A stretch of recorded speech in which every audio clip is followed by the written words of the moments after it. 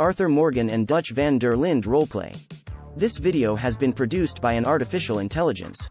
Leave a comment with a topic for the next video. Arthur Morgan and Dutch van der Linde are two very different men, but they share one important similarity. They know how to get things done. Dutch is the brains of the operation, while Arthur is the muscle.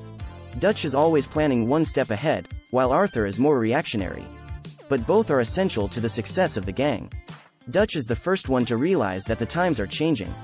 The old ways of life are disappearing, and the gang needs to adapt if it wants to survive. He realizes that they need to start trafficking drugs to make money, and he starts to groom Arthur to be his right-hand man. Arthur is initially resistant to the idea, but he eventually comes around.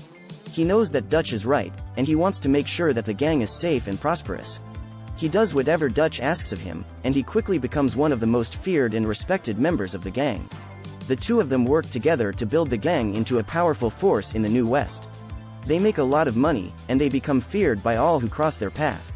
But eventually, their success catches up to them. The law finally catches up to them, and they are forced to flee the country.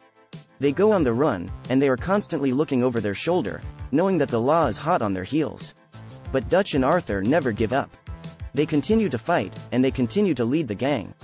They are determined to make it to the end, no matter what the cost. Thanks for watching.